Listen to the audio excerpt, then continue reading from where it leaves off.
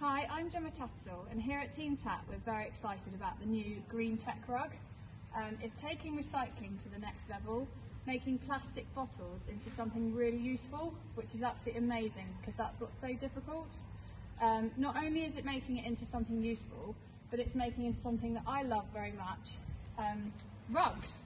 And as usual, WeatherBeeta have pulled out all the stops and have made the most perfect New Zealand rug. It's waterproof, it's warm, it fits absolutely perfectly. It's uh, perfect around their withers and their necks, and um, we could not be happier about it.